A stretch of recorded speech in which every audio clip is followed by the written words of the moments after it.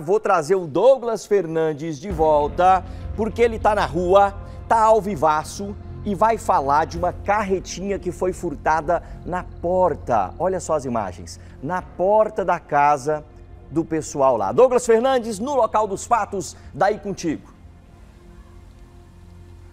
Isso mesmo, viu, Branquinho? As imagens mostram com muita nitidez que o veículo preto, ele para aqui nessa rua onde nós estamos, a rua Marajó, que fica aqui no Parque Amazônia. E bem aqui nesse canto onde a carretinha estava, eles acabam fazendo o engate desta carretinha e partem com muita tranquilidade rumo ignorado. Nessa carretinha tinham ali cerca de seis tambores que estavam com restos de alimentos que são recolhidos de restaurantes aqui da capital, porque o seu Luiz Antônio, ele leva todo esse material para uma chácara que ele tem para alimentar os porcos, né? É. E agora a situação ficou complicada para o senhor, porque eles levaram esse auxílio que o senhor tinha para transportar mais lavagem para o pessoal, né? Para os porcos lá, não é isso? Oi. Boa noite. Boa noite. Aí tá me dando mais trabalho porque eu tenho que fazer duas viagens agora, sem que eu fazia só uma para levar o trato lá. E quando o senhor acordou pela manhã, o senhor levou um susto? Às sete horas eu vim gastar a caminhonete aqui. Cadê a, a carreta? Levaram a carreta. Fiquei de. Não tinha nem trato para levar para os porcos mais.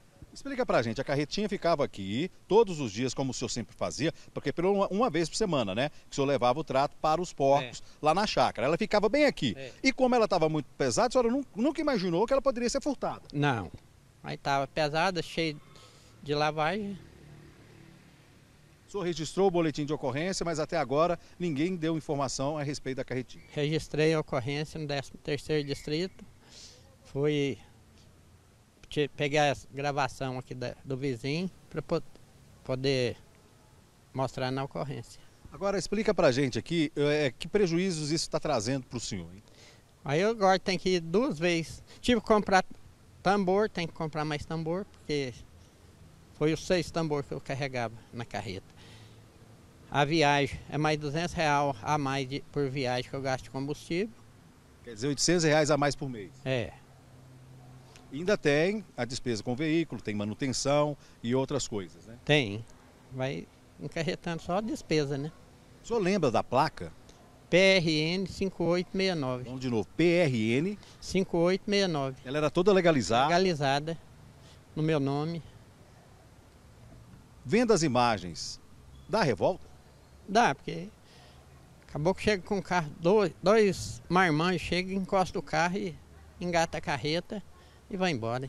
Senhor Antônio, dá para a gente perceber que eles passam primeiramente, vão até a esquina, retornam, então eles visualizaram e eles já tinham um engate né, no veículo justamente para poder fazer esse furto. É, foi chegando, suspendeu ela e pôs na, no carro e saiu. Tá a imagem perfeita. Só para a gente encerrar, vamos repetir a placa. PRN 5869. Tá aí, viu, Branquinho? PRN 5869, né? A placa dessa carretinha, automaticamente os bandidos já devem ter feito a troca, né? Colocado placa fria, mas ela tem alguma característica que dá para identificá-la? Tem, ela, é, ela tem o engate é, é dois canos, um por baixo e outro por cima. E a, a chapa dela, só tem duas carretas aqui em Goiânia que foi feita com essa chapa. A chapa da lateral. Resistente. É. Obrigado, seu Antônio, pela participação. E a gente vai tentar contribuir com ele, né, o, o Branquinho, na tentativa de localizar essa carretinha que está fazendo muita falta para ele, que tem 72 anos e está na lida até hoje, viu? Com certeza, Douglas Fernandes, Cleiton Ferreira, Alvivaço no local dos fatos. Olha só a imagem aí dos Pebas levando a carretinha. Eu quero que divide, por favor, com o senhor lá que está do lado do Douglas, já passando da casa dos 70 anos, ralador, trabalhador, trabalhando ainda na lida. Olha só para o rosto desse homem, gente digna. E aí vem dois vagabundos para fazer isso aí. Devolve, é o aviso que eu dou agora aqui no Cidade Alerta. Devolve, larga ela por lá ou em algum lugar, porque quando a polícia pegar e vai pegar, vai pegar, aí a conversa é outra.